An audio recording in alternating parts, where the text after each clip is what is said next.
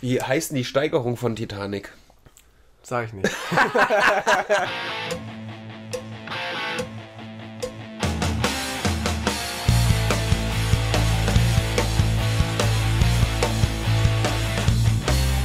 gewesen. Die Woche war krass, Robin. Wir müssen jeden Podcast verkaufen, als wäre es die beste Woche der Welt gewesen. Es ist ja auch die beste Woche der Welt. Es ist nämlich die Woche, die wir als letztes durchlebt haben und wir müssen die immer aktuellste. Im, genau, wir müssen immer im Moment leben und das ist sehr sehr geil.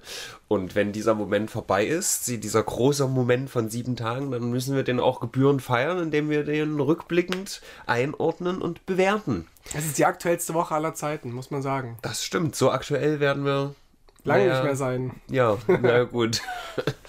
Aber was ist denn hier los? Da sind ja Leute, die ihren, ihre Ohrmuschi hier an den Empfangsbolzen ranhalten. Könnt ihr nicht mal klopfen oder klingeln? Das ist wirklich unanständig. Wir sind noch nackt auf der Couch. War noch gar nicht so weit. Nee, warte, ich habe hier. So, jetzt bin ich ja bestens vorbereitet, so wie Tino auch. Der hat nämlich, äh, wie gesagt, nur die, die Mainstream-News hier auch von den Leitmedien. Aber ich habe sortiert nach Sachen, die, die viral gegangen sind. Habe auch ein paar Kommentare eingefangen.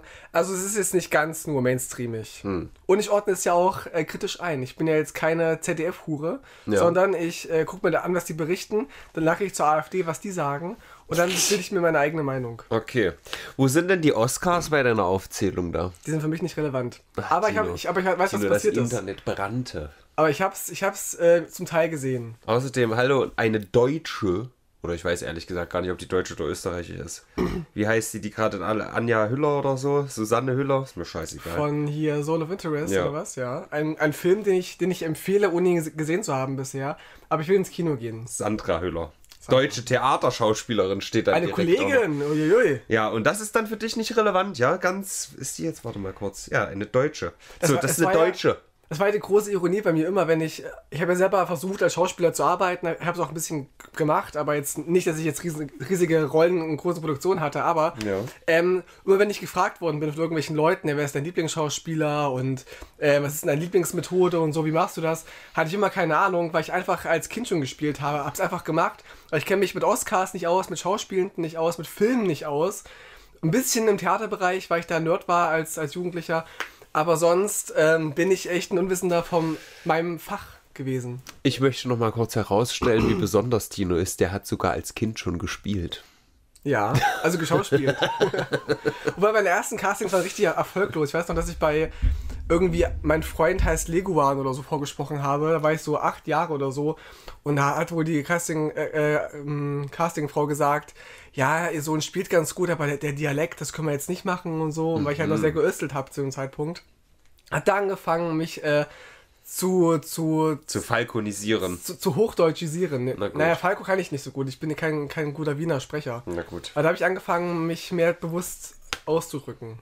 Wie dem auch sei, Tino, wir haben ganz vergessen, bevor wir ja schon in die Oscars und die Themen quer einsteigen, zu sagen Aloha, ein saftiges Aloha von der Datenautobahn. Wir sind Robert Steinhäuser und Tino Ranacher. Folgt Ja. ihm doch mal auf Instagram, der ist ganz toll. Folgt mir nicht auf Instagram, da wird wahrscheinlich nichts mehr gepostet. Echt nicht? Bist du gesperrt? Nee, Robert Steinhäuser ist tot. Ach so. das, das wusste ich nicht. Nee, weil ich echt, ich war vor, vor ein paar Tagen, war ich ganz kurz davor, Instagram zu löschen, mein Account. Uh. Ganz kurz davor. Warum? Weil ich war, unzufrieden. Ich bin irgendwie damit unzufrieden, dass ich da so viel rumhänge. Ich habe jetzt Facebook gerade gelöscht, von meinem Handy zumindest. Der Account ist noch da. Aber ich dachte, wozu machst du diesen ganzen Scheiß eigentlich? Ich habe doch Spaß mit meinem Podcast und mit anderen, anderen Projekten. Ich muss doch nicht noch das äh, alles posten. Aber es macht Spaß. Ich war echt ganz kurz davor zu sagen, ey, ich zieh mich da jetzt mal raus und weiß ich nicht. Also ich Komisch. muss sagen, gut, du hast halt dein Facebook, obwohl da wahrscheinlich auch Aber nicht äh, mehr. relevante Leute theoretisch weg sind, aber Instagram ist halt schon so die am ehesten Seite, wo Leute vernetzt sind, finde ich. Also wo die meisten Leute, die ich kenne, einfach Same. sind. Und deswegen finde ich das fernab von selber posten oder so auch einfach ganz nett, weil das gibt's sonst nicht. Also äh, Facebook-Bashing in allem Ehr, in allen Ehren, aber dieses, also dass du eine, eine, Plattform hast, wo du jederzeit jeden erreichen kannst, der für dich irgendwie relevant ist, ist ja eigentlich gut. Na und. Facebook ist das halt nicht mehr, weil einfach die Leute viel zu inaktiv sind, weil die Plattform halt einfach richtig ranzig ist und vor allem bei mir im Browser auch ultra langsam. Keine Ahnung, ob das am Computer liegt, aber keine Website ist bei mir so langsam wie Facebook. Aber früher waren echt alle bei Facebook. Ne? Das war ja. das SchülerVZ früher, wo du geguckt hast, wer ist neu auf der Schule, ja. wer ist der denn schon, äh, schon angemeldet bei uns und so. Und dann Facebook, wenn du jemanden kennengelernt hast, also mir ging es zumindest so, erstmal bei Facebook geschaut, was ist, ist das für eine Person, wann hat die Geburtstag und so. Das ist ja jetzt weggebrochen, weil die ganzen Genera die Generation nach uns alle bei Instagram und TikTok sind, ja. wo du sie aber nicht mehr finden kannst, weil die heißen dann ja irgendwie Pussy Destroyer 3001 und so. Ja, ich finde auch, TikTok ist nicht so ganz diese Idee. Ne? Da geht es schon Gar mehr um nicht. Content Creation und nicht so unbedingt um Vernetzen, soweit ich das einordnen kann. Aber. Würde ich genauso sagen, ja. Es, es gibt halt wirklich, du hast ja viele Leute, die du kennst, aber wo du jetzt auch nicht speziell die Telefonnummer zum Beispiel hast, dass du dich dann mhm. bei Telegram oder WhatsApp oder so hast. Und dann ist so ein Instagram, ja, man kennt sich über drei Ecken oder so und, ne? Dann Aber Facebook hat ja eigentlich alles gehabt, ne? Mit, den, mit Gruppen, ja. wo man gucken konnte, irgendwie jetzt wie in meinem Fall zum Beispiel irgendwie äh, die Partei Leipzig. Wenn ich wusste, ich bin jetzt in Leipzig unterwegs, dann gehe ich in die Gruppe rein ja. und schreibe mir, ey, hier, ich bin zu Besuch, hat Bock, was zu machen oder so. Oder vegan in Nordhausen, als ich da mal gelebt habe und so. Und dann hast du halt Veranstaltungen gehabt und hast geguckt, irgendwie, was geht in Weimar heute, konntest zusagen, absagen, eigene Veranstaltungen erstellen, bewerben und so weiter. Du konntest nach, nach realen Namen suchen das war schon, äh, eigentlich hat Facebook alles gehabt. Ich weiß nicht, woran es lag, dass es dann so, so abwärts ging. Mhm. Klar, Instagram kam dann dazu, aber wie du schon gesagt hast, es ist ja nicht das gleiche wie Facebook. Also es war jetzt keine Alternative dazu, sondern einfach was, was Neues, wo, wo es viel mehr um Bild-Content ging und so und die auch Stories und so hatten. Aber es hat nicht mehr diesen Vernetzungsfaktor. Und das finde ich halt so schade, dass es verloren geht. Das stimmt. Ich kann dir auf jeden Fall einen kleinen Tipp geben. Wir gucken mal, wenn wir jetzt hier mal drauf drücken.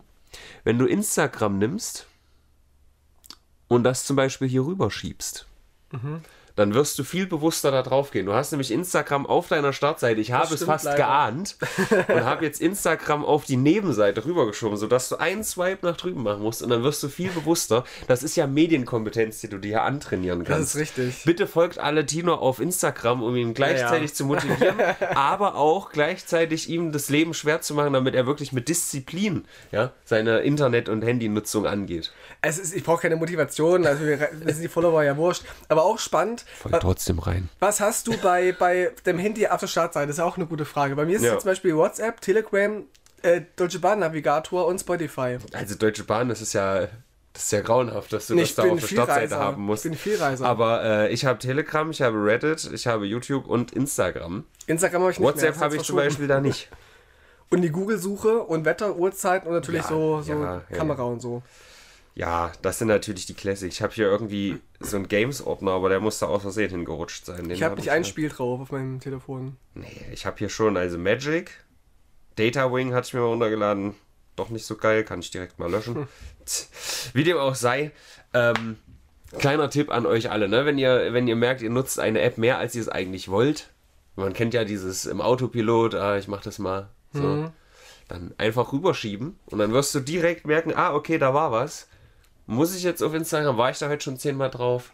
So. Deswegen ist, ich weiß es ja manchmal. Ich denke manchmal so, ich muss mein Handy jetzt nicht rausholen, wenn ich in der Bushaltestelle bin oder Naja, aber Bus. da, da finde ich, spricht überhaupt nichts dagegen. Nee, aber eigentlich will ich das ja nicht. Eigentlich will ich mir Gedanken machen und überlegen und okay. so grübeln und so. Wenn du das lieber willst, okay, dann völlig fein. So. Aber ich mach's dann nicht. Aber also, weil ja viele sagen so, ja, bei jeder Gelegenheit holst du das Handy raus. Wenn ich da halt an der Bushaltestelle sitze und nichts Besseres zu tun habe, dann spricht da doch gar nichts dagegen. Jetzt zu Hause bin ich auch wenig bei Instagram. Das sind dann eher so irgendwie gerade, weiß ich nicht, wenn wir ein YouTube-Video gucken, es ist gerade 20 Sekunden Werbung, gehe ich bei Instagram kurz rein, wer da so Stories macht.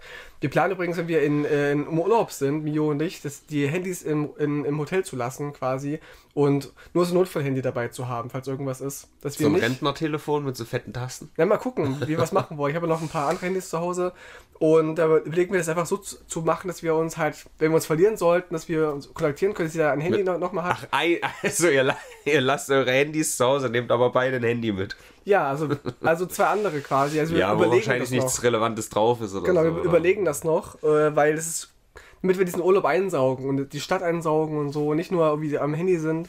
Hm.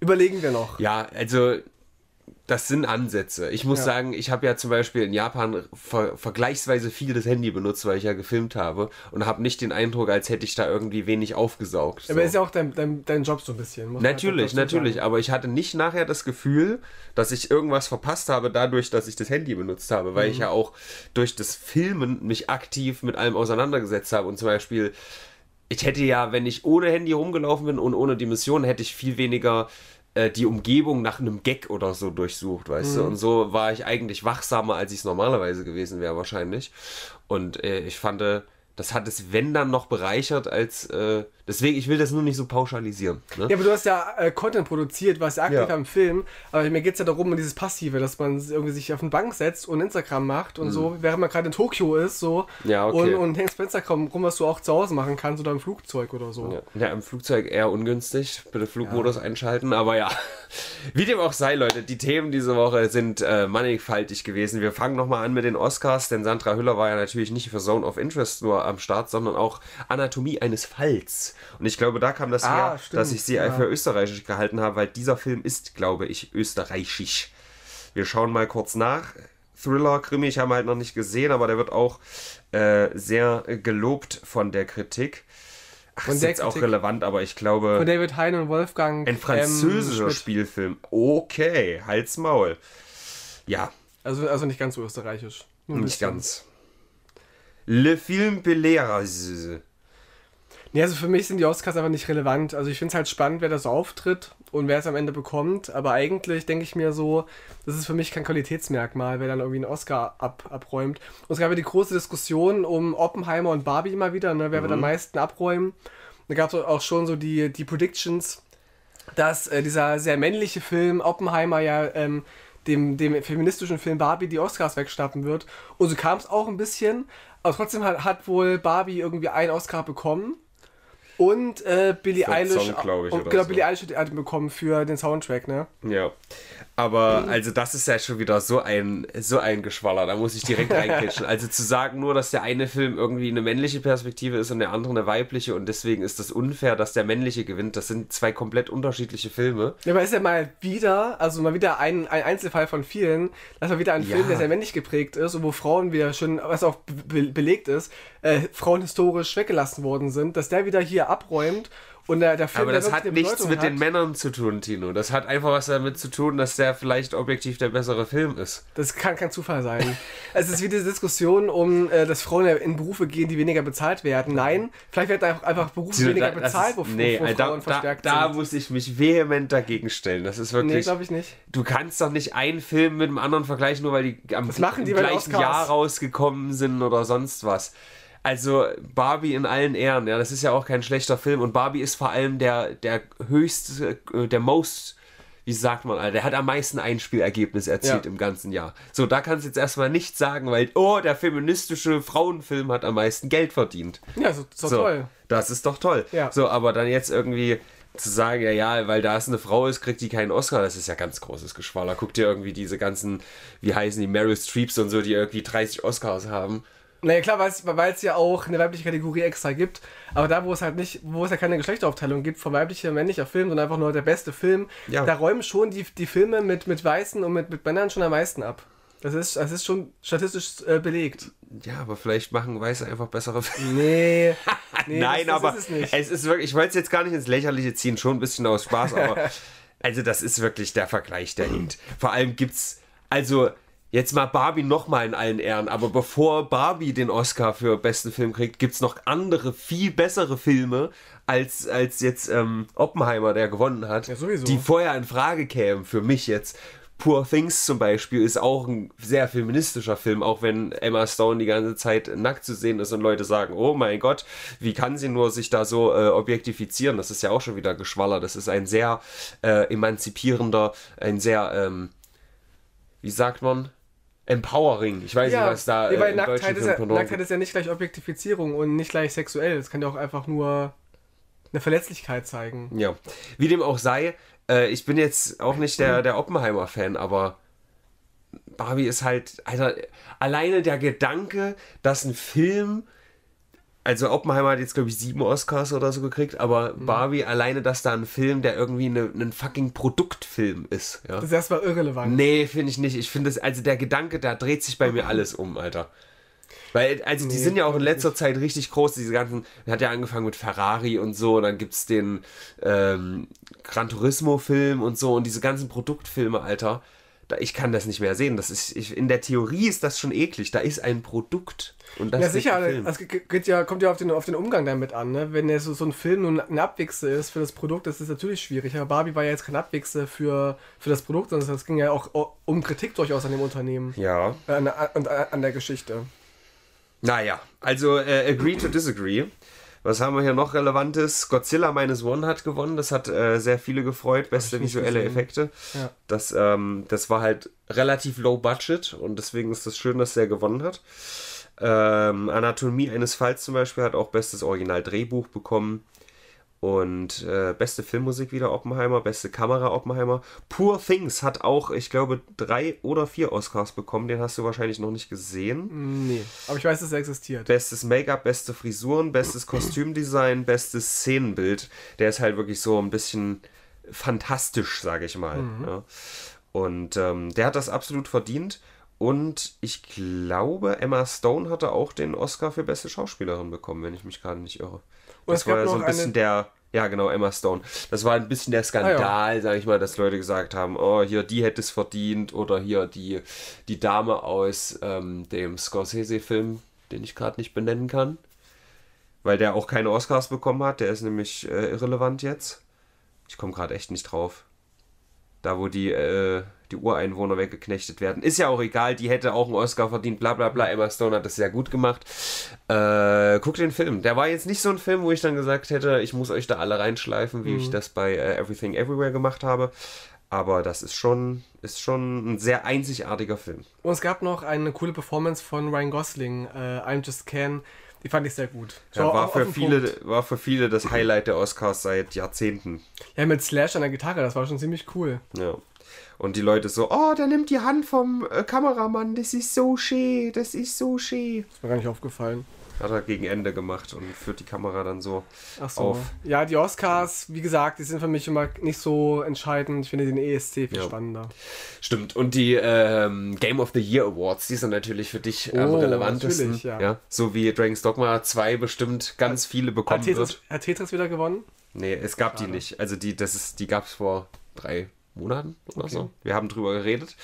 Aber ich wollte nur elegant überleiten und ganz kurz Dragon's Dogma 2 erwähnen, was jetzt nicht mehr mal, nicht mal mehr eine Woche hin ist. Und langsam wird es echt anstrengend für mich.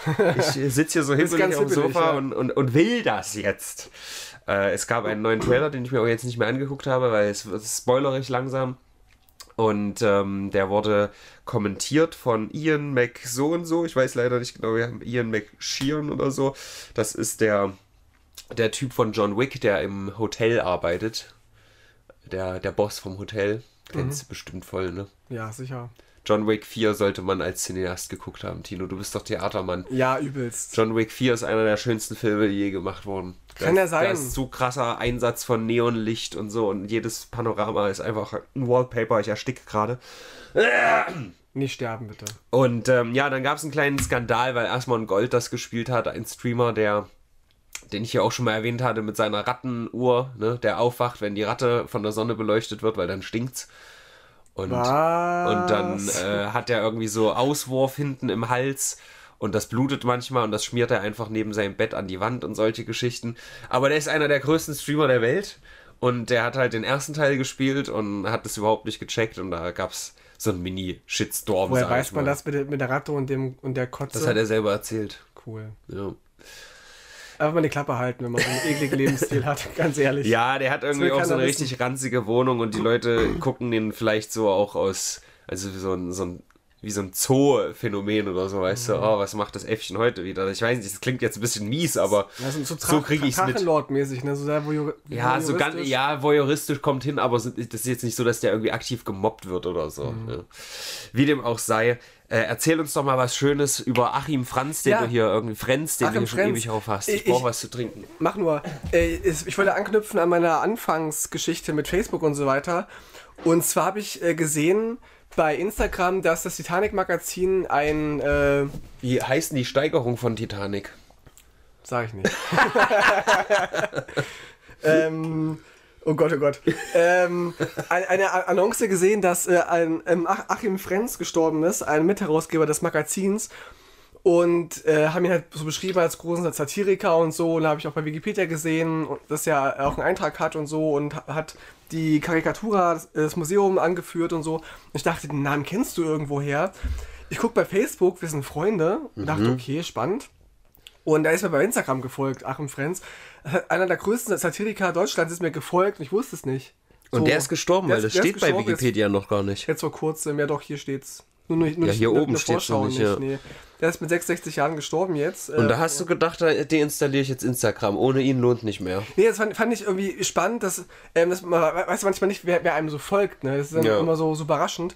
Und ich dachte, der Name kommt mir halt bekannt vor, von manchmal von Likes und so und von, Mhm. wenn du guckst, wer so die Stories anguckt. Und da ist der einfach mein Follower gewesen und äh, was mich im Nachhinein mit, mit Stolz erfüllt, aber mich auch beschämt, weil ich halt das nicht mitbekommen habe und ich nicht zurückgefolgt bin. Peinlich, Tino. Sehr Deswegen weird. hat er sich das Leben genommen. Tino Anranscher folgt mir nicht. Das reicht. Nee, der ist aber, nee, der ist irgendwie im Schlaf äh, friedlich gestorben. Im Schlaf entschlafen. Ein, ein Ehrenplatz im äh, Brennpunkt Nekrolog, weil er mein Follower war. Ja, warte mal. Hatten wir nicht noch irgendeinen Nekrolog diese Woche? Irgendwas ist, glaube ich, noch. Ja, doch, doch, doch, ganz wichtig. Und zwar der äh, Paul Alex Alexander ist gestorben, der Mann mit der Ah. eisernen Lunge. Genau. Der ist seit 70 Jahren da in so einer Maschine, in so einem ja, Halbsarg, möchte man meinen, aus Metall. Und ähm, ist jetzt äh, auch entschlafen. Der ist als Kind quasi erkrankt an Polio, eine Erkrankung, die man heute durch eine Impfung äh, quasi bekämpfen kann oder, oder verhindern kann. Und musste deswegen sein Leben lang in so einem komischen Hohlzylinder ähm, aus, aus Eisen verbringen, damit er halt nicht stirbt. Und es gibt zwar inzwischen modernere Varianten, solche, solche Personen am Leben zu erhalten, aber dass seine Lunge schon so verkümmert sein muss, hat man das halt, halt nicht gemacht. Und er wollte auch gar nicht da raus, weil er kennt es nicht anders und so weiter hat trotz dieser krassen Diagnose und dieses Lebensstils es geschafft, Jura zu studieren, Bücher zu schreiben, zu malen und war Anwalt sein Leben lang, hat bis zuletzt auch äh, gearbeitet. Aber in dem Kasten sehe ich das nicht ganz. Konnte er seine Hände einsetzen und so? Nee, nur, nur mit seinem, seinem Mund hat er so Mund. den Pinsel oder den Stift bewegt und geschrieben und so. Crazy. Also richtig krass. Ähm, und ist jetzt an äh, Corona gestorben tatsächlich. Aha. Mhm. Na toll. Also zwei Sachen, die eine Impfung hätte verhindern können. Naja, es gibt ja auch Menschen, die konnten ja auch nicht geimpft werden, weil das Risiko ja, ist auch, ne? Klar, dass das bei dir Aber ich weiß nicht, ob es bei dem so war. Also weiß ich jetzt nicht genau. Ich, ich denke mal schon. Also der wird ja irgendwie nicht so einen stabilen Gesamtkörper haben, denke ich mal. Ähm, aber es gibt tatsächlich noch einen, den wir in den äh, Nekrolog eintragen müssen. Ich weiß gerade nicht, ob ich den Namen finde, aber der Boeing Quality Assurance Manager, der ist ja so ein Whistleblower gewesen und hat gesagt, hier bei Boeing ist es nicht so safe. Oh. Ähm, und der hat sich äh, erschossen. So heißt der offizielle Bericht. Ich habe das mal hier in diesem Meme zusammengefasst. Be me, whistleblower from Boeing, feels so bad for saying such mean things about an innocent company, gonna end it all from guilt, hold gun like this, pull trigger. Na klar. So, und äh, da sind natürlich jetzt äh, die, die Mythen und Ranken am passieren, ob der wirklich sich selbst umgebracht habe, weil kurz vor seinem, also der hat die ganze Zeit äh, so Statements abgegeben und äh, ich glaube vor Gericht musste der halt da irgendwie Aussagen machen und kurz vor seiner letzten Aussage ist er dann plötzlich verstorben. John Barnett, found dead. So, da ist er nämlich. Boeing Whistleblower John Barnett. Ich meine, kann sein, dass er sich umgebracht hat, weil der Druck zu groß war, aber es wirkt schon sehr shady. Es wirkt sehr shady und im Zuge dessen kam direkt noch eine Meldung, dass äh, Leute den, die, die Decke einer Boeing äh, erreicht haben, weil sie so hochgesprungen ist, weil eins der Flugzeuge um, ich glaube, 500 Fuß, was wird das sein? Durch, durch drei geteilt, grob, glaube ich. Keine so, Ahnung. also irgendwas äh, 100, 170 ähm, Meter abgefallen in der Luft. Und dadurch sind Leute, die äh, clevererweise nicht angeschnallt waren, an die Decke geflogen mit dem Schädel. Oh. Und ähm, das kann wahrscheinlich auch mal passieren. Ich weiß nicht, ob das äh, als Turbulenz mit durchgeht, wahrscheinlich eher nicht, aber das ist halt natürlich, das hat so ein Geschmäckle, wenn gleichzeitig so eine Meldung wiederkommt. Ja. Während äh, da der Whistleblower sagt, bei Boeing geht es mit der Qualität bergab und äh, da wird äh, fahrlässig gehandelt und huch, mein Kopf ist weg. Aber Whistleblower heißt, heißt ja quasi Pfeifenpfeifer, oder? So Pfeifenpuster. Pfeifenpfeifer? Whistle- Ach so, oder- Whistleblower. Ja, Finde ich einen komischen Begriff. ein Pfeifenpfeifer. Wie ein Schiedsrichter quasi. Ja, das, daher kommt es ja auch. Echt? Na klar, Ach, der krass. Schiedsrichter sagt ja auch hier, da läuft was falsch. Ach so, aber ich dachte, das bringt dann die Person in so eine Rolle, dass er auch was zu sagen hätte. Aber hat ja jetzt auch, Julian Assange war ja auch ein Whistleblower oder hier, der jetzt in Russland lebt. Ja, der hat da drauf gezeigt, was äh, falsch ist. Ach so, witzig, wusste Macht ja der Schiedsrichter auch. Ich dachte so, es kommt so von irgendwelchen so Blowing, so irgendwie so, irgendwie so, so Geheimnisse blowen. Nee. Blowjob geben an die Öffentlichkeit. Ja. In Info-Blowjobs. Nee. Wer auch gerne Blowjobs gibt, das sind schwule Menschen. Und äh, die sind jetzt, ähm, die Deut deutsche Nationalmannschaft wird jetzt quasi verschwult, homosexualisiert, wie die Kritiker sagen und Kritikerinnen. Denn die, äh, das Trikot der ähm, EM-Mannschaft wird nämlich, äh, also eins wird wie gewohnt äh, weiß sein mit schwarzen Streifen und Deutschlandfahnen drauf. Und das Auswärtstrikot, glaube ich, halt nee nennt sich nicht das, das. Auswärts ist, trägt man, glaube ich, wenn die gegnerische Mannschaft ähnliches Ach, Trikot hat. so, stimmt, stimmt. Also manchmal, nee, manchmal gibt es auch. Verwechslung. Doch, es gibt manchmal auch Trikots von Mannschaften, die haben halt Heimat- und äh, Auswärtstrikots, aber eben auch Ausweichtrikots, falls die andere Mannschaft zu ähnlich aussieht. Ja. Ne? Das stimmt, ich weiß auch nicht, wie es in dem Fall war. Vielleicht weißt du ja mehr als ich. Keine Ahnung, Fußball ist scheiße. ja, das ist richtig. Aber ich wollte mit aufgreifen, dass die Nationalmannschaft jetzt auch mit einem pinken und äh, ähm, lila-schwarzen Shirt auf. Alter, ich habe direkt Bock, wird. diesen Fußballer zu bumsen. Wirklich. Ja, same, Alter. Ich bin sofort schwul geworden. Und da gibt es natürlich ganz viele Kommentare von wegen, ja, äh, ähm, Homosexualisierung und so, keine echten Männer und so, keine, keine deutschen Farben, äh, pink und lila und so. Ähm, da hat aber jemand kommentiert, ähm, Jens Jen Sun mit einem Pow- Powerpuff Girl Jensun. mit einem Powerpuff Girl als, als ähm, ähm, Profilbild, hat er mal zusammengefasst, dass das äh, Auslandstrikots ähm, noch nie schwarz, rot oder gold waren, sondern immer schon irgendwie grün, türkis, dunkelgrün, grau, türkis waren, ne? solche Farben, also wiederholend irgendwie. Und jetzt eben pink, wo ist der Aufschrei? Also warum äh, jetzt die, die Aufregung? Weil halt pink so als, als Schwulenfarbe gilt. Mal wieder völlige äh, Eskalation. Also da muss man schon extrem fragil sein, um immer noch dieses äh, Pink steht für was weiß ich zu haben. Ja. So. Das sind halt die, die, die rechten Snowflakes, ne? Es ist halt wie es ist. Ja. Ich finde tatsächlich, sieht ganz cool aus, muss ich sagen. Ich hatte früher ja auch mal ein Skateboard, das war schwarz-pink. Das hatte schwarz-pinkes Muster, war äh, dann oben natürlich schwarz durchs Grip-Tape und hatte dann pinke Rollen. Das, ich finde, das sieht einfach zusammen ziemlich geil aus. Ich muss auch sagen, objektiv gesprochen oder subjektiv gesprochen, ich mochte auch äh, Schwarz-Rot-Gold als Farben immer ganz gerne als Kombination. Also als Kind irgendwie, weil ich Nazi. dachte. Ja, ich dachte, ich dachte als Kind, dass es irgendwie in Ordnung ist. ja, man macht mach das gerne. Und als ich dann äh, mich politisiert habe als Jugendlicher und so habe dann viel mit, mit Punks rumgehangen, hatte ich mal kurz den Gedanken, dass man ja den, den, den, den Faschos, den Rechten, diese Nationalfarbe wegnehmen sollte. Sehe ich heute nicht mehr so. Aber damals sagte ich irgendwie, ich mag die Kombination so gerne. Warum nicht trotzdem diesen, nicht diesen Nationalstolz, aber irgendwie diese, diese Herkunft zu zeigen irgendwie und, und die Fahnen den wegzunehmen, mit, mit diese Schemen. Und wollte tatsächlich mir mal ein T-Shirt kaufen, wo, eine, äh, wo schwarz-rot-gold drauf ist, was aber schwarz war. Also schwarzes T-Shirt mit schwarz-rot-gold drauf, weil es übelst cool aussah, habe ich mal irgendwo gesehen. Und dachte, eigentlich sieht das ganz gut aus, bis irgendwann merkte, nee, Nationalfarben sollte man, finde ich, gar nicht unbedingt tragen. Tja, Tino, ich hab's wahr gemacht. Ich hab den Nazis die Farben weggenommen. Mein Kanal ist seit zwölf Jahren schwarz-weiß-rot. Ja, ist zwar eine sehr alte ähm, Nationalflagge, sage ich jetzt mal. Nicht mehr so gebräuchlich. In AfD-Kreisen schon noch, vielleicht. Ist tatsächlich eher wegen den White Stripes passiert, weil die haben denen schon die Nationalfarben geklaut. Aber Schwarz- ich finde die also- Kombination, also das ist meine, meine Lieblingsfarbkombination. Na klar, Schwarz-Weiß-Rot ist jetzt auch keine, Farb, keine Kombination, die jetzt nur politisiert ist. Die Farben haben ja alle. Also, also auch, auch, um mal wieder Falco zu erwähnen, der hat ja auch mal schwarz-weiß-rote ähm, Symboliken Es ist halt das seinen- Geilste, also schwarz und weiß sind halt die Kontraste und dann eine Farbe dazu holen. Und dann krass finde ich, ist, ja. einfach rot die beste. Ja, klar, sicher. Aber Naja. auch Orange-Grün mochte ich mal ganz gerne. Mhm. Das fand ich auch eine weirde Kombination. Möhre. Das zur Farbenlehre. Geil. Gut, äh, ich habe hier auf jeden Fall mal noch so einen so einen Schinken, den wir mal auspacken können, damit es auch mal ein bisschen wieder Larifari wird. Denn ApoRed hat einen fetten neuen Prügel rausgebracht.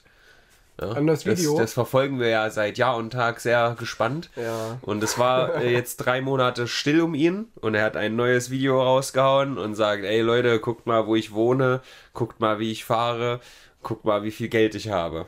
Und innerhalb von ein, zwei Stunden war dieses komplette Video schon von allen auseinandergenommen worden und debunked und da wurde von einem rangezoomt an die angeblich 1,6 Millionen Euro in Dollar, die da auf dem Tisch liegen. Und da wurde festgestellt, auf diesen Scheinen sind keine Seriennummern. Also die können nicht echt sein. Ja, von Amazon bestellt Und, wahrscheinlich ähm, wieder diese Billo-Kopien. Womöglich. Dann äh, das Büro, in dem er sitzt, das sieht so ein bisschen aus, als würde er vom Greenscreen sitzen. Das glaube ich jetzt nicht. Ich glaube, die Beleuchtung ist da einfach ein bisschen komisch. Aber es wirkt ganz eigenartig. Dann wurde aber auch rausgefunden, dieses Büro gehört so und so irgendjemand anderem, der halt in, in Dubai sitzt. Und es ist identisch, weil der Stuhl genau gleich aussieht, die Wandstreben im Hintergrund. Also es ist ein, ein, Serie, ein Serienbüro. Ja, So- und so der, der hat sich da halt einmal reingesetzt, hat sein Fake-Geld auf den Tisch gelegt, hat gesagt, guck mal, wie reich ich bin, ich habe mir ein Büro gekauft. Dann Aber geht gerade er das wirkt doch übelst Hass. Raffen die das denn nicht? Das gerade Also- dieses Angeben von, ich habe so viel Geld und ein Auto und ein tolles Büro, dass gerade das doch total Hass wirkt. Ich glaube mittlerweile fast, also ich bin davon überzeugt, fast davon überzeugt, dass er das wirklich macht, weil er weiß, dass das die Leute triggert und dass er dadurch Reich, Reichweite generiert, weil es geht nämlich noch weiter. Er fährt dann in seinem angeblich fetten, geilen Auto, Sechserklasse, was weiß ich, kenne ich mich auch nicht aus. Autos sind genauso scheiße wie Fußball. und fährt er dann halt durch Dubai äh, Richtung Wohnung und du siehst dann von innen noch diese Leihplakette, die Autos halt haben, die man so leihen kann und also so dumm ist der doch nicht, das nicht wenigstens irgendwie abzudecken oder halt nicht zu zeigen. Ich kann mir nicht vorstellen, dass er so bescheuert ist. Und deswegen denke ich mir fast, er lässt das mit Absicht drin, dass die Leute das dann erfahren, dass das Fake ist. Und durch diese Spekulation, aha, guck mal hier, labert er wieder Scheiße, generiert er dann Bass und bleibt im Gespräch. So kann ich mir das schon vorstellen. Äh, dann fährt er in seine Wohnung. Seine Wohnung ist eigentlich ein Hotelzimmer. Das wurde auch relativ schnell rausgefunden. ja, das kann man ja gut Es erkennen. kostet ungefähr das, was er im Video sagt, 3700 im Monat, aber es ist halt ein Hotelzimmer. Hm. Er sagt so, ja, ist spärlich eingerichtet, aber es ist halt ein Hotelzimmer. Was soll da? Es liegen halt auch fast keine Gegenstände von ihm rum. Und es ist von Nicht alles sind so Messis wie du, Robin, wo alles rumliegt, weißt du? ja, also zur Zeit ist wirklich schlimm, weil ich gerade, meine Mitbewohner sind beide nicht da. Mhm. Und ich lasse mich hier richtig gehen. Geil. Aber am Ende kommt vielleicht auch raus, dass Mimi und ApoRed einfach, einfach ein, ein Couple sind, weißt du? Mhm. Die halt einfach nur riesigen Beef provozieren, um beide Reichweite zu generieren und Geld zu generieren. Das, fände ich auch witzig. grandios. Die Entschuldigung ist dann im letzten Video er ernst gemeint an ApoRed. Ja. Und dann geht äh, ApoRed auf die Knie ja. und sagt, Mimi, willst Doch, du äh, Das ist schon das Geilste an diesen ApoRed-Videos, oder? Dass Mimi-Videos kommen. Ich gucke mir das beides nicht so richtig an. Also finde, Oh. Nee, also ich finde es witzig, ich bekomme das durch dich ein bisschen mit und durch andere Leute, dass du, die, dass du erzählen, was Mimi so alles hinkriegt und so. Aber ich finde einfach Mimi anstrengend. Ich kann dir nicht zuhören. Das finde ich anstrengend. Also, das ist aber veraltet, so redet er fast nie mehr. Dann bin ich vielleicht nicht mehr aktuell. Der das redet mit seiner normalen. Stimme mittlerweile. Das fand ich immer so anstrengend, deswegen war ich da immer so abgeschreckt. Das hat mir nicht gefallen. Okay. Siehst du, so, so geht das mit, mit Biases. Naja, einmal, einmal angeguckt oder dreimal angeguckt und jedes Mal so gesprochen, dann denke ich mir halt so, nee, gucke ich mir das einfach nicht mehr an. Ja. Wo ich dir aber Und recht gebe. Mimi hat mal so einen so einen Rap-Track gemacht, wo er die ganze Zeit in dieser Stimme rappt und Mhm. den, der wird übelst abgefeiert und ich, für mich ist das einfach grauenhaft. Aber es juckt mich auch einfach nicht, was der berichtet. Ich, mich juckt ApoRed einfach nicht. Es ist, ist vielleicht manchmal lustig, aber eigentlich, es ist mir egal. Also bei mir ist so ein Faktor dabei, dass durch diese Form von Videos immer noch so ein, so ein die deutsche Community-Gefühl da ist, ja. Weil das ist ja alles in, auf YouTube extrem professionalisiert und wir machen jetzt Fernsehen auf Wisch bestellt und so. Und wir sind jetzt Produktionsstudios und nicht mehr der YouTuber im Zimmer. Und, und früher war halt so dieses, äh, Herr Tutorial lädt ein Video hoch, jeder weiß es, jeder, man ist halt so vernetzt irgendwie, weißt du? Und dann irgendwann so, als dieses Mediakraft-Ding groß geworden ist, hat es so angefangen, dass es sich immer weiter aufgefächert hat. Und ich habe halt irgendwie gefühlt immer mitbekommen, wenn eine Herr Tutorial Scheiße baut oder halt auch nur ein Video hochlädt, obwohl ich die nicht abonniert hatte. Hm. So, und das ist halt jetzt gar nicht mehr. Weil es auch viel deswegen, geworden ist. Es gibt ja, ja klar. viel Content Creator. Ja, viel und es hat halt irgendwie nicht mehr diese, diesen Vernetztheitscharme. Ähm, deswegen freue ich mich auch immer, wenn Leute sagen, wenn, wenn von uns ein Video kommt, dass sich das anfühlt wie YouTube früher. Mhm. Das finde ich immer schön. Und äh, das ist halt, das, das schwingt bei mir da auf jeden Fall mit, so, mhm. weißt du? dann, dann gönne ich auch ApoRed 100.000 extra Klicks, wenn dafür dieses, dieses Gefühl von, ach gucke mal, jetzt können wir eine neue Sau durchs Dorf treiben, durch unser kleines YouTube-Deutschland-Dorf. Das, das finde ich irgendwie ganz heimelig. Aber auf der anderen Seite guckst du dir dann auch YouTuber oh, an, die halt noch so, so sehr mit einfachen Mitteln ähm, ähm, produzieren.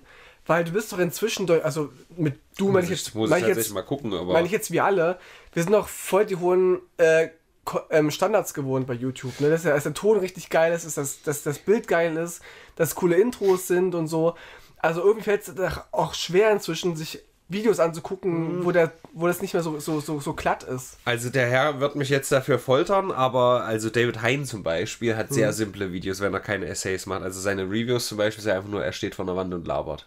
Ja, aber trotzdem ist es ja mit einer guten Kamera aufgenommen, es hat ein Konzept ja, und so okay. und es hat auch eine, ja, aber, aber jetzt so Sachen wie so drei Kumpels oder so, die filmen in ihrem, ihrem Kinderzimmer, in ihrem WG-Zimmer irgendwie eine lustige Challenge oder so oder, oder drehen eigene Sketche. Ja. Das ist doch völlig verloren gegangen. Das gibt's vielleicht noch, aber das guckt sich keiner mehr an. Jetzt geht es auch nur noch darum, um ganz große Themen und um große Qualität. Jeder hat irgendwie drei Cutter noch irgendwie im, in der Hinterhand.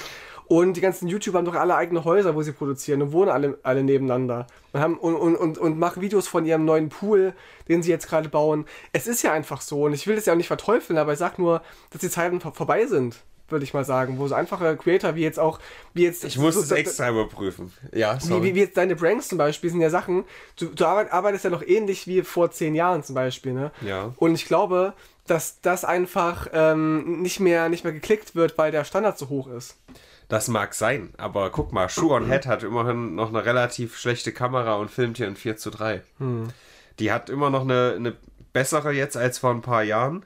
Ähm, die macht auch mittlerweile ein bisschen aufwendigere Videos, wobei ich gar nicht weiß, ob sie die selber, selber schneidet, aber äh, die hat vor zwei Jahren noch mit so einer ranzigen Webcam Videos gemacht und da mhm. ging es halt wirklich um den Inhalt und nicht irgendwie um die Präsentation. Ja, aber es ist schon seltener geworden. Wenn du die Trends guckst, da ist auch kein Video mehr irgendwie einfach produziert. Ja, Gus Johnson sehe ich hier gerade, gucke ich tatsächlich zurzeit fast nicht mehr, aber habe ich abonniert und der, der macht halt auch so simple, ich filme mich selber Videos. Mhm. Das geht dann noch in die Richtung. Ich gehe halt gerade so ein paar Abos durch, ne? Mhm. Aber du hast schon recht, da ist schon viel.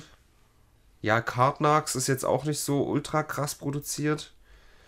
Ne, das ist ja. so ein bisschen wie, ich bin auch so ein bisschen in dieser äh, Leipziger Buchmesse-Bubble gewesen, ne? Und als ich da zum ersten Mal war, 2010, 11, so, da gab es so ah, wenige Menschen, die quasi so ein bisschen Fame waren mhm. und die äh, Fotos ähm, gemacht haben mit, mit, mit Leuten. Also es war so, es gab vielleicht von, von zehn Leuten gab es so ein, vielleicht zwei oder anderthalb Leute, die, die waren ein bisschen größer und die wurden von allen irgendwie nach, nach Fotos gefragt. So. Mhm. Und, und dann ich, kam Chan, hat die ganze Szene versaut. Das ist, ist, das ist die nächste Geschichte. ähm, ich war zum Beispiel damals mit einer Person unterwegs, ich will jetzt gar nicht sagen, wer es war. Ähm, die war damals so eine, so eine Größe im Cosplay, ne? Und wir mussten alle fünf Minuten anhalten, weil sie fotografiert worden ist von Leuten und so. Und ich mhm. habe die auch teilweise gemacht in die Fotos, was ja auch cool war. Aber äh, wir waren dann jedes Jahr dort und, und in einem Jahr haben wir gemerkt, dass sie immer weniger gefragt worden ist nach Fotos und dass jeder quasi jetzt so jemand sein wollte, der, der, der berühmt ist. Oh. Und alle, nee, aber, aber alle legen jetzt Wert drauf, auch so jemand, auch so jemand zu sein. Mhm. Und es hat nachgelassen. Und äh, überhaupt dieses Fotos mit jemandem machen wird immer weniger. Weil auch die, Standards immer mehr wurden, die Cosplays wurden immer krasser und die und, und auf einmal gab es tausend Leute mit richtig geilen Kameras, die da irgendwie Fotos gemacht haben, haben da ihre Visitenkarten rumgezeigt und so. Ja. Einfach weil diese, diese, diese Qualität so krass angestiegen ist. Ja, wenn alle bekannt sind, ist es finde. keiner mehr, ne, in dem Sinne. Genau, und, und, und, und, und, und ich hatte auch das Gefühl, kann auch einfach nur äh, falsches Gefühl sein, dass sich manche auch inzwischen selber zu cool waren, um nach Fotos zu fragen. Andere, die wollten halt selber nach Fotos gefragt werden und wollten deswegen eher so ein bisschen äh, selber die, die, diese, diese Lichtgestalt sein. Was ich nicht schlimm finde, aber es war schon eine, eine Sache, die ich, die ich beobachtet habe als Außenstehender, weil ich ja selber weder jetzt im Cosplay-Bereich berühmt war, noch wahnsinnig inter interessiert war, mhm. aber ich hing mit den Leuten rum, die das waren. Und habe ich das von außen so ein bisschen beobachten können. Das haben die auch teilweise selber gesagt, mit denen ich unterwegs war. Ja, es hat sich schon verändert. Also jetzt irgendwie, äh, jeder hat jetzt einen Instagram-Account mit, mit krassen Cosplays und vielen Likes und so und da. Fotos wird kaum noch gefragt eigentlich. Mhm. Also nicht mehr wie früher mit Fan-Selfies, aber ja. Also ich habe ja auch sehr viele Fotos äh, in meinem Leben mit irgendwelchen Leuten gemacht und so nett das ist, objektiv betrachtet, ist es schon auch eher, ich will jetzt nicht nervig sein, sagen, weil ich habe das bei allen gerne gemacht, ja. Aber jetzt mal objektiv, mhm. du gehst über eine Messe und Okay, das ist natürlich auch in meinem Fall so. Ich war da ja nie als, ich guck mal, was auf der Messe Cooles geht, sondern es ging ja immer darum, ein Video zu machen. Mhm. Und äh, je mehr Fotos man da machen muss, desto weniger kommt man dazu, Video zu machen. Ja. Und das ist dann halt ein bisschen kacke.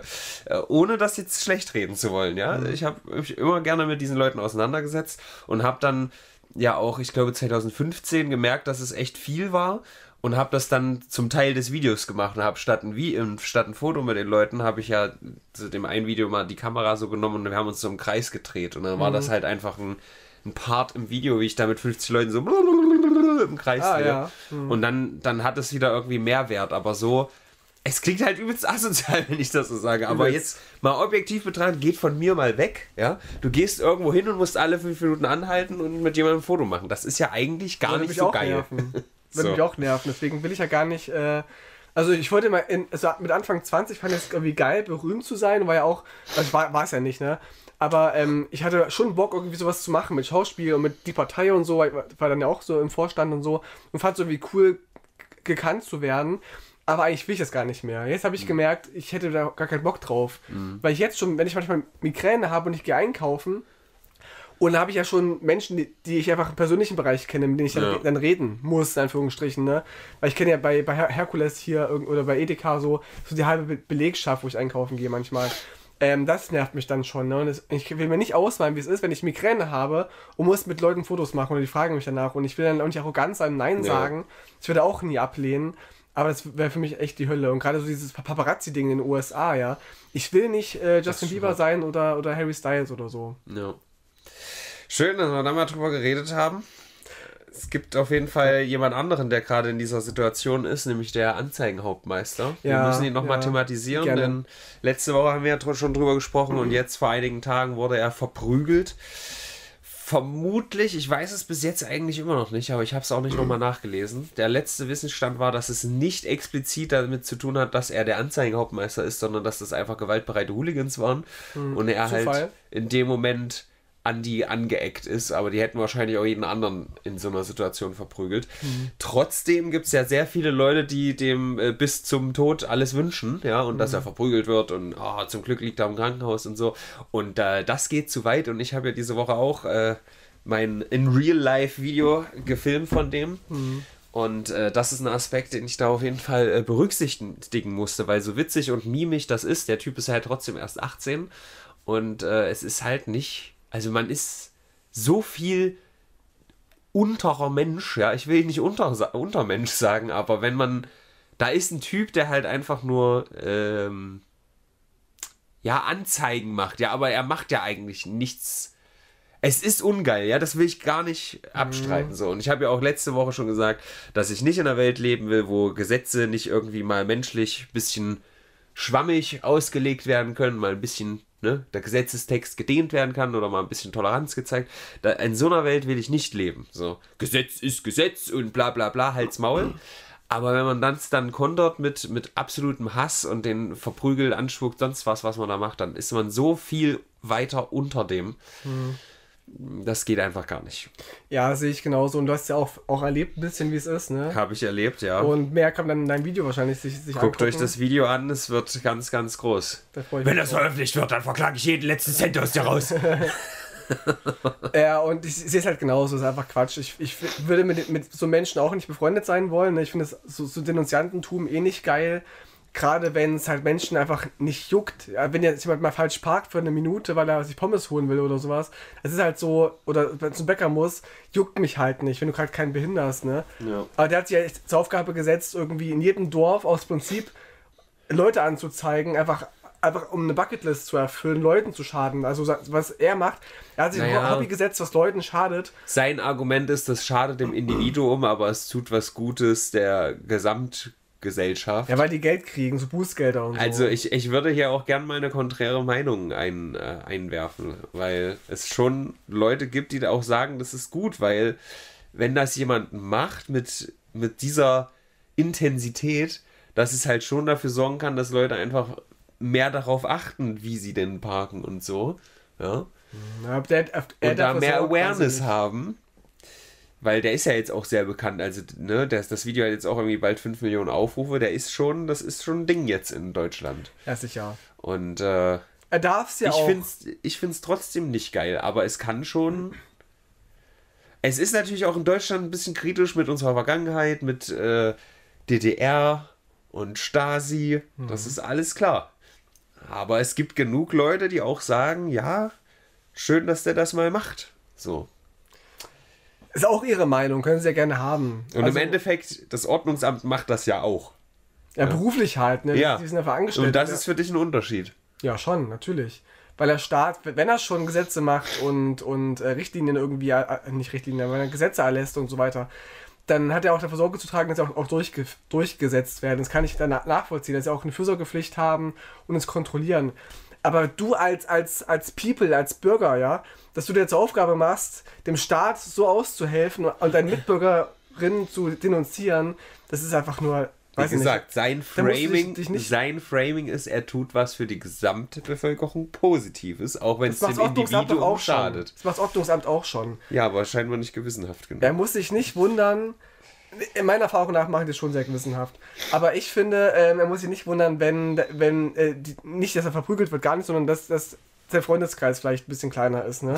Weil ich würde mit so jemandem auch nicht befreundet sein wollen, aber ich würde ihn auf jeden Fall auch nicht äh, mit Gewalt drohen, weil er darf es machen. Er macht ja jetzt nichts Falsches. Nichts nichts Gesetzeswidriges. Und er hat sich ja, wo hast du, glaube ich, erzählt, auch im Video selber angezeigt, ne? oder? Ja, ja, sein Fahrrad fällt dann am Ende, am Ende des Videos um. Also er ist konsequent, kann, kann man hat, sagen. Ja, und da ist halt meine große Frage, hätte er das auch gemacht, wenn er alleine gewesen wäre? Das weiß man halt nicht, ne? Wer weiß. Also ich finde es ich find's, äh, okay, was er macht. So äh, soll er machen. Ich würde ihm da jetzt nichts Böses wünschen wollen, aber äh, pass auf. Pass einfach auf, dass, dass du nicht noch schlimmere Sachen erlebst. Ja. Ich wünsche es dir nicht. Ja, was wir auch nicht wünschen, ist äh, zu ertrinken. Ein weiteres Flüchtlingsboot ist äh, abgegluckert im Mediterranean Sea. Hat bestimmt wieder jeden interessiert und jeder mitbekommen. Es ist halt Äh, eine, so, eine, so eine News, die einfach normal geworden ist. Ja, ich habe im Zuge dessen ein ähm, Kommentar gesehen. Ich weiß jetzt gar nicht, ob das die richtigen Zahlen sind, aber ich fand es trotzdem interessant. Da hat nämlich ja jemand gesagt, na ja, das ist schon hart, aber das sind 180.000 Leute sind, wahrscheinlich ging es da ums Jahr oder so, sind übergesegelt und nur 3,2.000 sind dabei gestorben. Und da denke ich mir, okay, das ist, äh, wo, Toll, wo, schön, wo kommt dann. das nur her? Das ist Ja. schon echt viel. Äh, und dann ist natürlich wieder eine heiße Debatte entbrannt, äh, bei der du jetzt wieder Puls kriegen wirst, von wegen, naja, wenn man, äh, je, mehr, man- je mehr man dieses Verhalten fördert, indem man den, den hilft oder die noch abholt, desto mehr kommen ja auch und desto mehr ertrinken auch. Das soll überhaupt nicht die Frage sein. Also da ertrinken Menschen, Punkt. Da hilft man denen einfach. Ja, die sind ja dann schon ertrunken. Das ist ja wie wenn du jetzt jemanden irgendwie. Aber also, der, also das Argument verstehst du schon. Da, also Na, ich verstehe in der es Theorie, auch, auch wenn du es unmenschlich findest, in diesen Ich verstehe Ansatz, es, aber, aber, es ist dumm, weil Menschen ertrinken, Punkt, und dann musst du denen einfach helfen.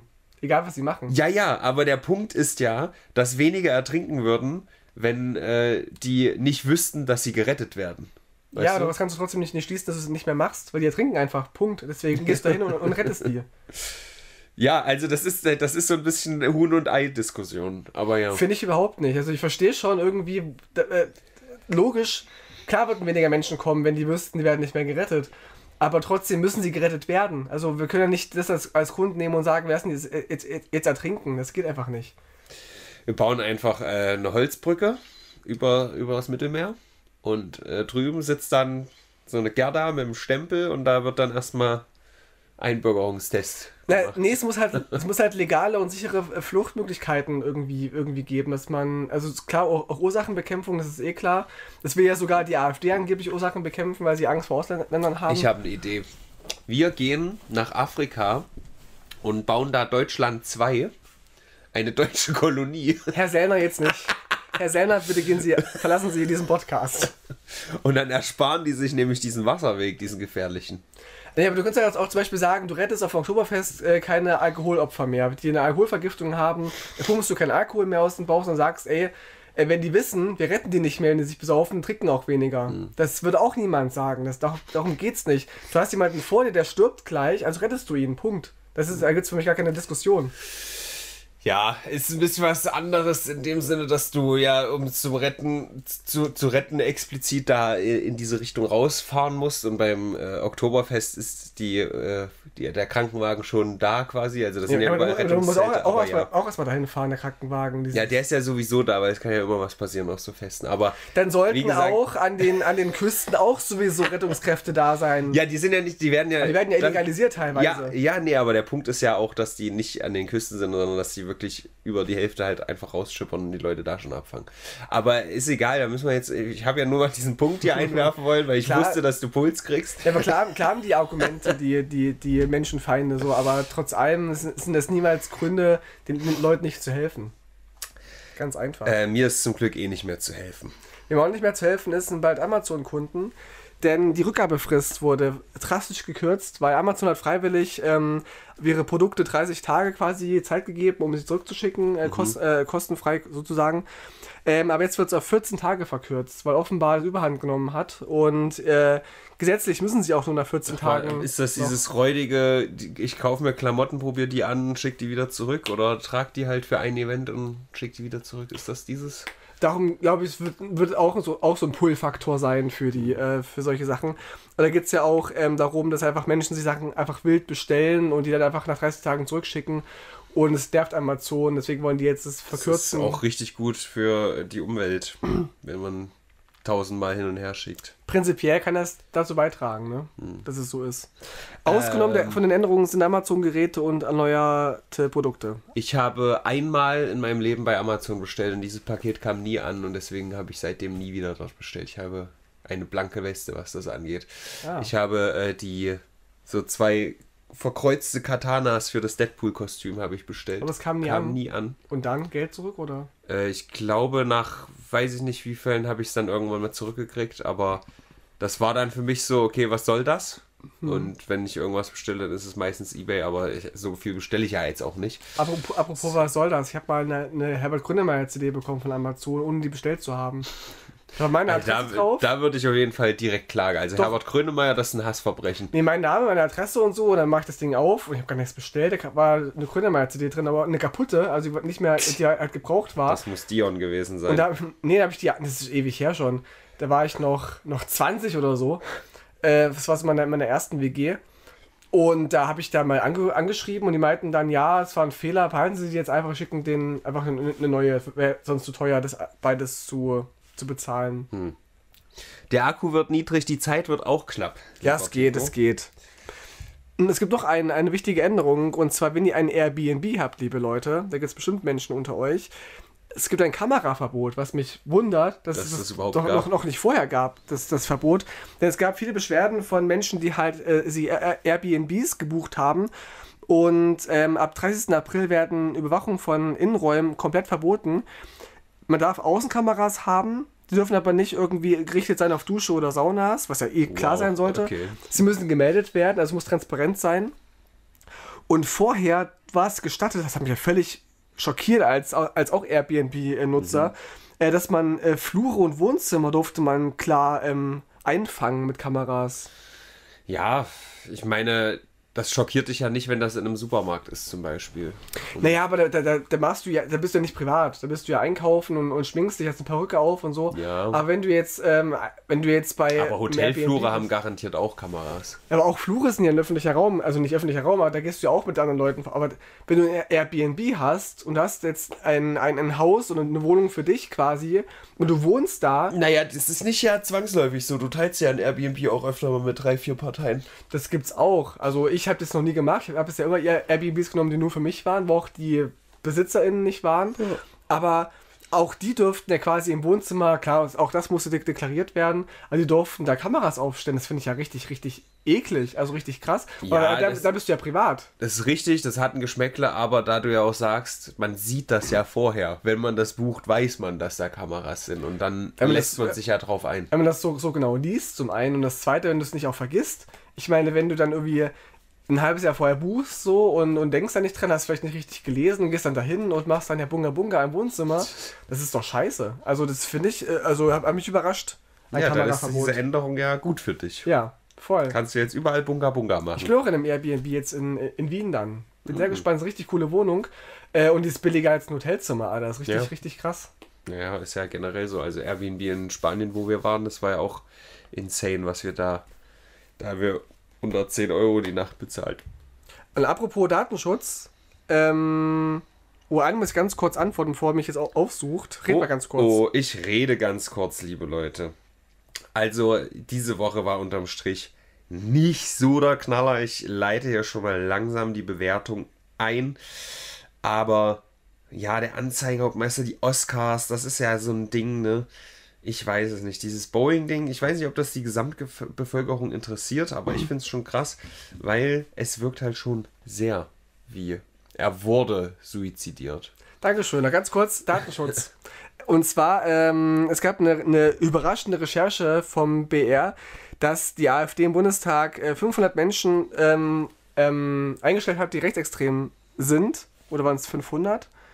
Das war aus Versehen. Nee, 500 arbeiten insgesamt für die AfD und es sind davon nur ein Teil, ach, 100 Personen von den 500 sind äh, in rechtsextremen Organisationen beschäftigt, darunter auch die JA, ne, ihre eigene Jugendorganisation, aber auch ähm, andere Sachen. Jedenfalls fand ich die Begründung der AfD ganz gut und zwar haben sie geschrieben, die AfD-Fraktion antwortet, dass sie sich aus Gründen des Datenschutzes und der Währung der Persönlichkeitsrechte dazu nicht äußern werde.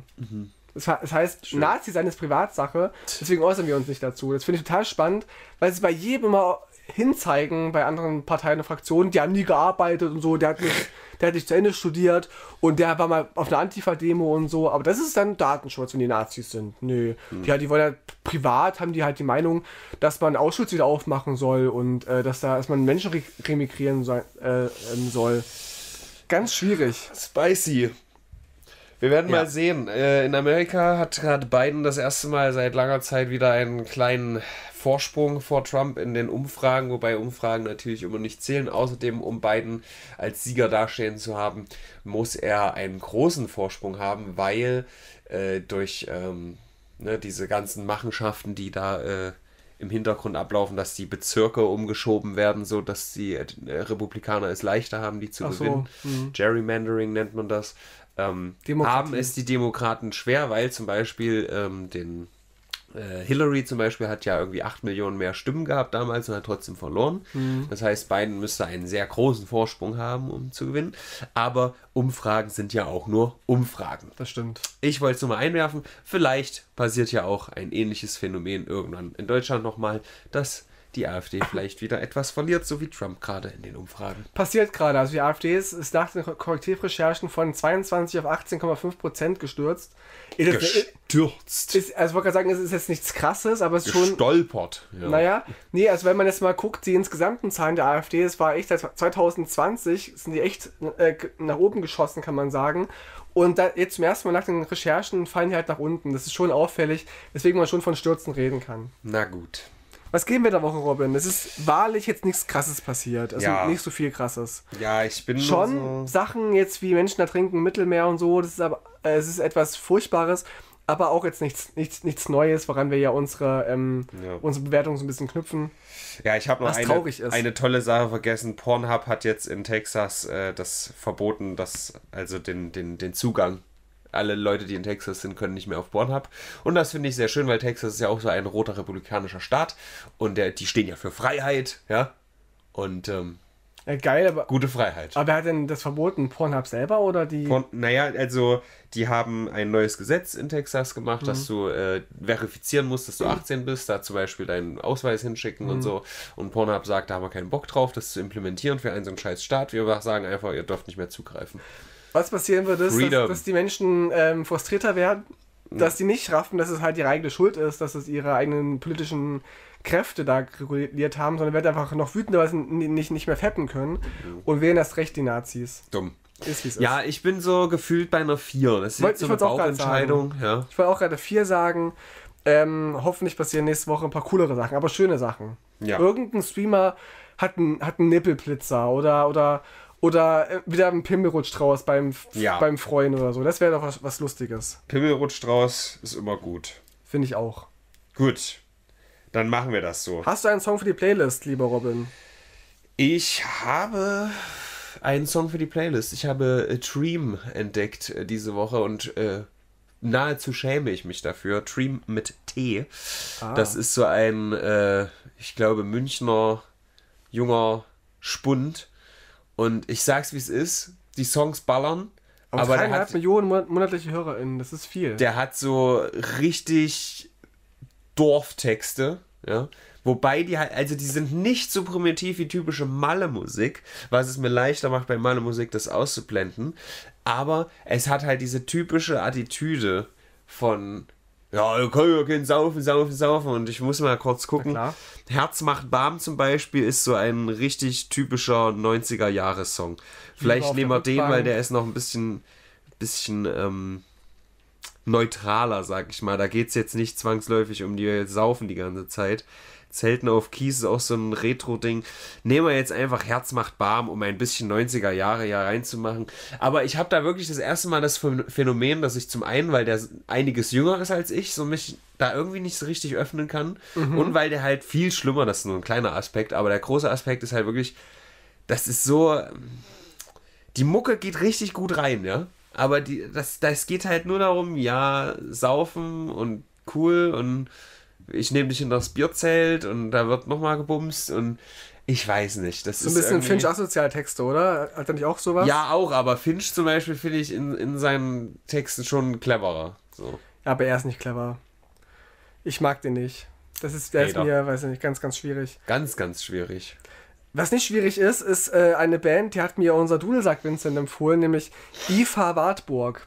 Es ist eine spannende, äh, hast, haben wir dir ja Ja, gezeigt, ne? gehört, Eine, eine schwedische Band aus den 90er Jahren oder Anfang 2000er Jahren. Und die, äh, die sind echt, die sprechen Schwedisch, aber singen auf Deutsch. In einem, also nicht akzentfrei, aber schon mit einem sehr klaren Deutsch. Ja. Mit, mit richtig, mit guten Texten, die auch wirklich tatsächlich ähm, wie von einem Deutschen geschrieben worden sind. Also jetzt keine krassen grammatikalitischen Fehler. Und ihr Konzept ist, dass sie halt wie eine DDR-Band singen. So. Und ich tue den Song FDJ, Freie Deutsche Jugend, dieser Band, in unsere Playlist. Und die haben ein Album gemacht in ihrer ganzen Laufbahn. Und das heißt, es hat auch einen ganz witzigen Namen. Ich muss nur kurz gucken, wie es heißt. Im Dienste des Sozialismus. Mit Songs wie Kosmos Kost, zur Konferenz in Rostock. Es ist nicht so schlimm auf der Insel Krim und so, der böse Kapitalismus. Also echt funny Band, hört rein, musikalisch richtig geil. Also auch so eine Mischung aus ein bisschen Ska und, und Rockmusik, Popmusik und witzige Texte. Gut. IFA Wartburg. Tschüss. Tschüss. Ja, äh, wascht euch, liebe Leute. bis zum nächsten Mal, bis nächste Woche.